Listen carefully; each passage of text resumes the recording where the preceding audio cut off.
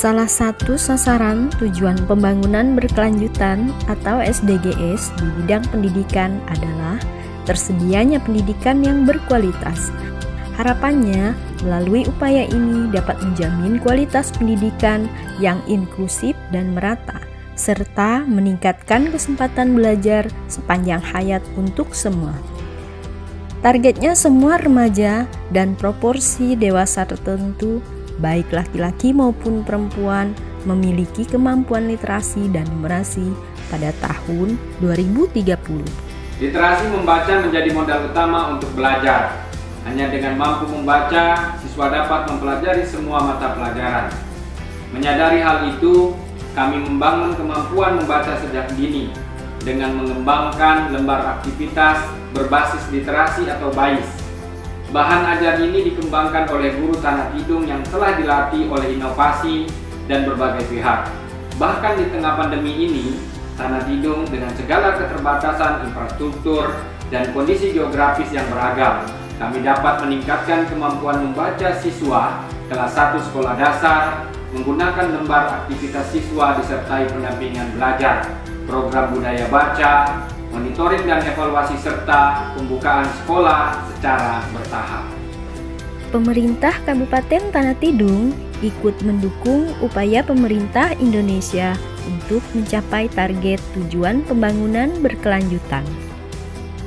Seiring terjadinya pandemi COVID-19, Tanah Tidung melakukan adaptasi di segala lini. Di bidang pendidikan, Kabupaten Tanah Tidung tetap fokus untuk meningkatkan keterampilan literasi. Adaptasi dilakukan dengan mengembangkan lembar aktivitas berbasis literasi atau BAIS sebagai bahan belajar siswa selama belajar dari rumah. BAIS dirancang khusus agar siswa mengalami peningkatan kemampuan membaca, menjadi salah satu terobosan Kabupaten Tanah Tidung untuk menghadapi pandemi COVID-19. Di awal pandemi, saya sebagai guru kelas 1 SD, pada saat itu sekolah dan Dinas Pendidikan mengeluarkan kebijakan bahwa semua sekolah itu harus menjalankan pembelajaran dari rumah. Uh, untuk saya pribadi, ketika itu saya sangat kesulitan dalam memberikan materi ajar atau bahan ajar kepada siswa-siswa saya, dikarenakan saya belum pernah bertemu dengan siswa-siswa saya.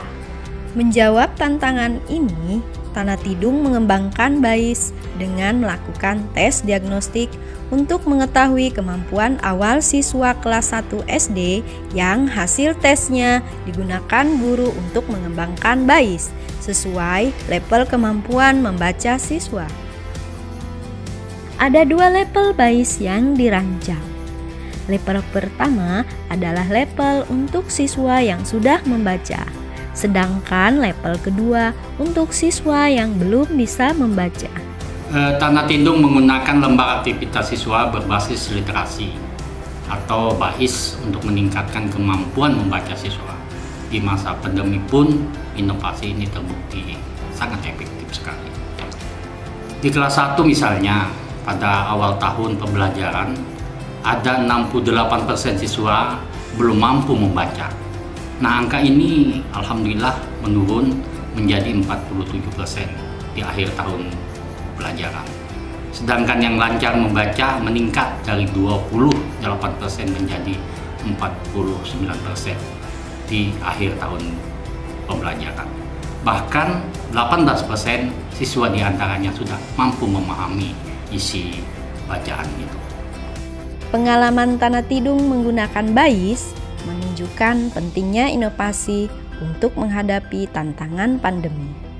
Kondisi alam dan keterbatasan infrastruktur tidak menghalangi Tanah Tidung untuk ikut membantu pemerintah Indonesia mencapai tujuan pembangunan berkelanjutan, khususnya untuk meningkatkan keterampilan literasi.